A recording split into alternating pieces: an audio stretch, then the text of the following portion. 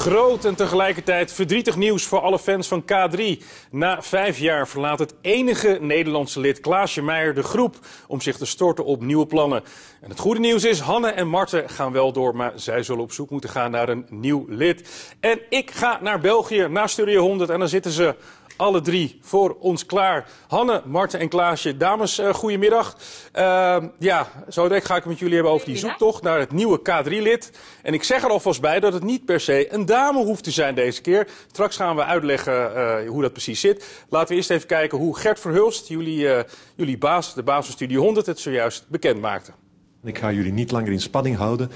Ik ga meteen vertellen waar het over gaat. Klaasje heeft besloten om K3 te verlaten. Het K3-leven is fantastisch. Al voel ik dat het nu tijd is om mijn vleugels uit te slaan. Ik gun iemand anders mijn plaatsje binnen K3 en wil zelf op een andere manier invulling geven aan mijn leven. Klaasje, goedemiddag nog een keer. Uh, hoe, hoe, hoe, zat jij daar net om dat uh, nieuws te vertellen? Nou, eerlijk, echt heel gespannen. het was echt. Uh ja, de zenuwen gierden door mijn lijf. En um, ik heb heel goed nagedacht over wat ik wilde zeggen en, en wat mijn boodschap is.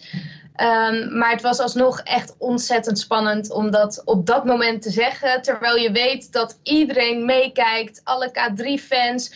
Maar gewoon op alle gebieden kijken mensen mee. Dus dat was echt heel spannend. Ja, en dan is de hamvraag eigenlijk: waarom uh, heb je besloten om te stoppen?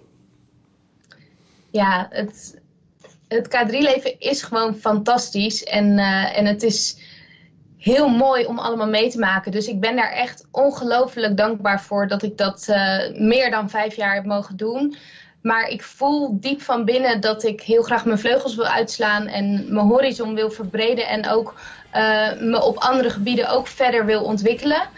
Um, dus uh, ja, daar zijn we toen over in gesprek gegaan. En, uh, en dat is echt niet een beslissing die je van de een op de andere dag neemt.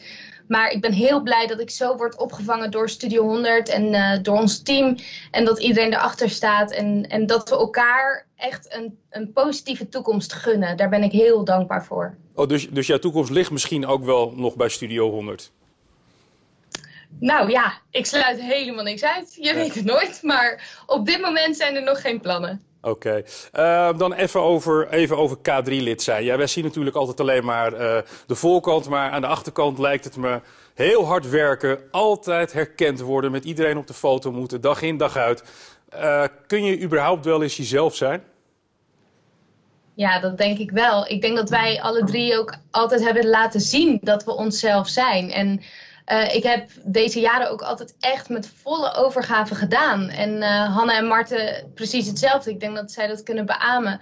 Uh, want als je dit leven niet voelt, dan kan je dat ook niet doen. Um, maar ik voel dat ik gewoon op andere gebieden me ook verder wil ontwikkelen. En ik, ja, mijn achtergrond als muzikus hoop ik dat ik die weg ook in kan slaan. Um, dus ja, en wat je zegt klopt wel, dat het gewoon fulltime is. Zo is het wel. Ja, hoe lang heb je, uh, heb je gewikt en gewogen om ermee te stoppen? Misschien dat het corona-jaar ook nog een, uh, een rol heeft gespeeld? Um, ja, er is niet echt een moment waarop ik kan zeggen van nou, toen begon ik erover na te denken. Uh, het echte, de echte beslissing viel in de kerstvakantie. Um, maar natuurlijk zit je in je hoofd daar al wel veel langer mee. En dat je denkt van ja, ik, uh, ik wil gewoon ook, ik wil zoveel meer nog. En ik wil ook andere dingen gaan doen. Um, dus het is wel iets wat al langer in je hoofd speelt. En, uh, en dat hebben we echt wel eventjes ook geheim moeten houden tot vandaag. Maar ik ben heel blij dat we, dat we daar nu een plan voor hebben met z'n allen. En, uh, en dat zowel K3 doorgaat als dat ik doorga. Ja, dan gaan we even naar je Belgische collega's Marten en Hanne. Ja, uh, Marten, met jou te beginnen. Hoe, hoe is dit bij jullie aangekomen? We waren toch wel geschrokken, omdat dat toch iets is dat ik, denk ik, altijd in mijn hoofd heb willen vermijden dat dat ooit kon gebeuren. En de moment dat dat dan toch gebeurde, had ik wel zoiets van, ho, oké, het, het valt een beetje uit elkaar of zo. En op die moment denk je nog niet aan, we gaan iemand nieuw zoeken, maar meer van, wat nu? En eigenlijk door daar goed over te kunnen praten, hadden wij ook echt wel zoiets van ja, we begrijpen Klaasje en we gunnen Klaasje ook om gewoon verder te gaan en nieuwe dingen te ontdekken. En kwamen er ook wel opties open van wat, wat willen Hanne en ik nog doen? En wij waren wel direct van, wij doen het wel echt heel graag en willen wel nog doorgaan. En wat zijn de opties? En dan werd ook al snel duidelijk van, we gaan op zoek naar iemand nieuw en we zetten dit gewoon verder. Ja, Hanne, hoe was het voor jou toen je het hoorde? Ja, een beetje hetzelfde. Hè. Eerste reactie is toch wel een beetje schrikken. En ook wel zo van, oei, onze toekomst die in mijn hoofd zo duidelijk was, ja, wordt ineens een beetje aangetast. Maar um, ja, ik begrijp Klaasje. We kennen Klaasje heel goed. Dus we, we hebben ook zoiets van, ja, we gunnen haar echt dat ze dit wil doen. En, en ik zou nooit de persoon willen zijn die haar daarin tegenhoudt. Uh, maar het neemt natuurlijk niet weg dat we het jammer vinden, omdat het waren echt vijf super fijne jaren. We zijn heel erg hard naar elkaar toegegroeid. We hebben echt altijd goed gecommuniceerd. En ja, dat is ook wel spannend dat we dan iemand nieuw gaan zoeken. Maar stilaan komt er ook wel dat gevoel van: oké, we gaan de toekomst super positief tegemoet. Zowel Klaasje als K3. En, en dat is ook leuk. Terug een beetje spanning, terug een beetje stress. En uh, ik heb er wel zin in. Oké, we gaan even kijken naar. Uh, hoe, uh, een overzicht van hoe het de afgelopen vijf jaar jullie is vergaan. Want jullie voorgangers die gingen toen op zoek naar een, een nieuwe groep. En dat werden jullie drietjes. En we gaan even kijken wat er allemaal sindsdien is gebeurd met jullie.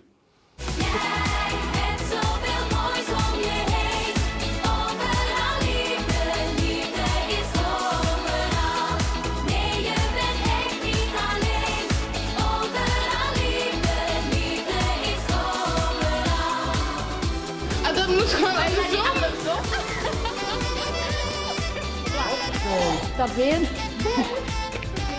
Eigenlijk al een heel klein beetje plassen, maar ik durf het niet te zeggen.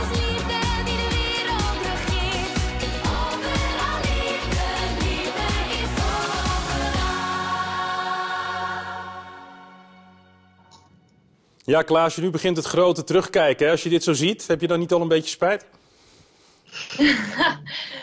Nou, ik heb er echt heel lang over nagedacht. Maar als ik deze beelden zie, tuurlijk, dan, dan krijg ik echt een nostalgisch gevoel. En dan denk ik, wauw, wat geweldig wat we allemaal hebben mogen doen tot nu toe. En uh, ik heb er ook echt het volste vertrouwen in dat Hanna en Marten dat gewoon kunnen blijven doen met iemand anders. En dat ik mijn kwaliteiten op andere gebieden weer kan gaan inzetten. Dus uh, ik kijk er echt voornamelijk met een heel warm gevoel. Het zijn voor mij hele warme, dankbare momenten. En daar, met dat gevoel kijk ik daarop terug. Heb je één absoluut hoogtepuntje voor ons? Um, ja, ik denk het wel eigenlijk onze allereerste Sinterklaasshow in België. Dat was de eerste keer dat wij voor 13.000 mensen mochten optreden. Nou, dat was natuurlijk doodeng. En we kwamen uit een lift, kwamen zo eh, vanuit het podium naar boven. En dat gevoel wat je dan voelt, dat al die mensen daar voor ons zaten. Dat was echt, uh, dat is een moment wat ik nooit ga vergeten. Al die fans en, en, en het gejoel en het geklap, dat is echt heel bijzonder om mee te maken. Ja, al die zenuwen dan. Hè? Um, en Hanna en Marten, uh, ja, opeens ben je dan, ben je dan met z'n drieën bij elkaar. Je moet, je moet ook meteen presteren. Hè? Ik hoor net uh, optreden voor duizenden mensen. Ja, was het ook wel eens een beetje ingewikkeld tussen jullie, al dat, al dat moeten presteren? Nee, ik denk niet dat dat ooit echt tussen ons heeft gestaan. Ik denk juist dat dat de reden is waarom we vandaag de dag zo sterk zijn samen. Wij hebben echt...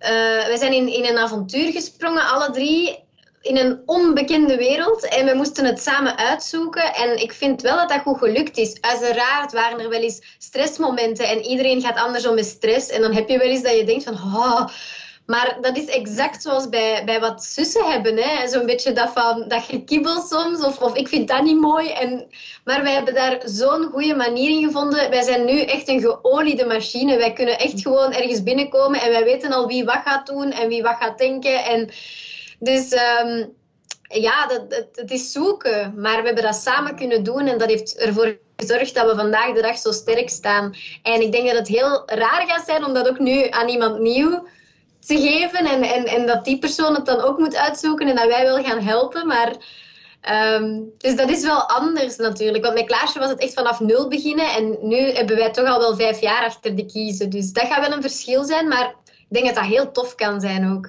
Ja, is er dan ook nog iets van een, een beetje cultuurverschil? Hè? We, we, praten allemaal Nederlands, uh, althans een deel van België en Nederland. Maar ja, toch misschien een beetje andere cultuur. Zat, uh, zat daar nog wel eens wat verschil in? Ja, ik denk dat we voornamelijk heel veel van elkaar hebben geleerd. tenminste als ik voor mezelf spreek, we hebben daar ook in het begin altijd veel over gepraat. Van wow, jij doet dat zo, jij doet dat zo. En uh, ik weet nog dat ik in het begin wel eens kon zeggen van, uh, oh dat jurkje, nou dat vind ik niet mooi hoor. Of zo. En dat kwam dan een beetje hard over. Ja. Maar ik denk dat we daar dan heel veel van hebben geleerd. En, en ik vind ook, ja, jullie zijn misschien op bepaalde vlakken net iets assertiever geworden. En ik ben misschien op bepaalde vlakken iets zachter geworden. Dus ik heb het altijd heel erg omarmd als een heel sterk team. En ja, eigenlijk, het is een beetje hetzelfde als dat je in een, uh, in een ensemble speelt of zo. Als muzikant speelde ik natuurlijk ook in ensembles. En dan heb je ook dat de pianist wil iets en de violist wil iets op een andere manier. En de fluitist wil het weer op een andere manier. En uiteindelijk breng je dan op het podium toch het allerbeste resultaat. En ik denk dat wij dat ook altijd op die manier gedaan hebben. Ja, en dan even over die zoektocht naar een uh, nieuw lid. Hè. Dat hebben jullie al een aantal uh, keren gezegd. Heel bijzonder, uh, jullie gaan niet meer per se op zoek naar een dame. Hoe, hoe zit dat? Ja, dat klopt. Ook jongens vanaf 18 jaar die zich geroepen voelen om het K3-team te vervoegen, kunnen zich inschrijven. We waren er eigenlijk in het begin, denken mensen niet direct van, oh ja, het zou wel een meisje moeten zijn, denken mensen. Maar als je er dan over nadenkt, waarom zou het geen jongen zijn? En we zijn er dan ook over in gesprek gegaan en we hadden zoiets van, die optie moet gewoon open liggen. K3 is voor iedereen, dus iedereen moet zich ook kunnen inschrijven. Jongens of meisjes, maakt niet uit. Nou, en, en, en was daar nog een beetje discussie over? Of hadden jullie zoiets van, ja, we zien het eigenlijk wel voor ons? Nee, daar was niet echt discussie over. Hè. Dat was gewoon... Het, ineens werd dat uitgesproken en het was zo even stil. En toen was iedereen zo van... Ja, waarom niet eigenlijk? Dus ja, ik denk dat, dat, dat we in deze tijden ook gewoon... Het is zo belangrijk dat iedereen die, die deze droom koestert, moet die kunnen waarmaken nu. En, en we kijken natuurlijk vooral ook naar het talent en naar ook wel of het goed klikt tussen Marten, mij en een nieuwe persoon. Dat gaat denk ik het belangrijkste zijn. Maar uh, hoe die persoon eruit ziet en welke slag dat die heeft, is daarin eigenlijk helemaal niet belangrijk. Ja, maar mag ik dan, is, is dan toch het voornemen om weer iemand uit Nederland te nemen? Omdat jullie zo'n gedeelde fanbase hebben, uh, Nederland en België. En komt er ook weer een grote show naar van, van de zoektocht op tv? Ja, er komt sowieso een programma, maar daar weten we de details zelf nog niet helemaal over. Dus daar zijn ze nog een beetje aan het uh, onderhandelen, dus daar moeten we nog even mee wachten. Maar uh, sowieso, ja, gaan we wel op zoek naar iemand gaan en kunnen jullie dat allemaal mee volgen. Oké. Okay. Uh, Klaasje, wanneer ga jij uh, precies stoppen? Want volgens mij is er nog een tour die jullie af moeten maken? Ja, ja, klopt. Het plan is dat we nog op tour gaan. Uh, en dat wordt dan meteen mijn afscheidstour. Uh, en dat zal dan het laatste zijn. Maar het is natuurlijk heel onzeker in deze tijd wanneer de theaters open gaan. En dus uh, dat laten we daar een beetje van afhangen. We hopen dat het gewoon kan blijven staan zoals het nu gepland is. Um, maar daar zijn we toch afhankelijk van wat corona natuurlijk gaat doen. Um, maar ik ben wel heel blij dat ik nog uh, een jaar kan genieten van alles bij K3. En dat ik uh, daarna mijn vleugels kan uitslaan. Ja, dus voorlopig zijn we nog niet van je af. Althans, uh, we kijken even wat, wat corona gaat doen. Ja, tot slot, ja. wat willen jullie zeggen tegen de fans die ja, met jullie groot zijn geworden de afgelopen vijf jaar? Zoals mijn dochters, maar dat met jullie voorgangers waren. Toen er één iemand wegging. Wat, wat willen jullie tegen ze zeggen? Oh. Ja, ik zou willen zeggen, ik snap het heel goed als je fan van ons bent en dat je dan een beetje boos bent op dit moment. Of heel teleurgesteld of verdrietig.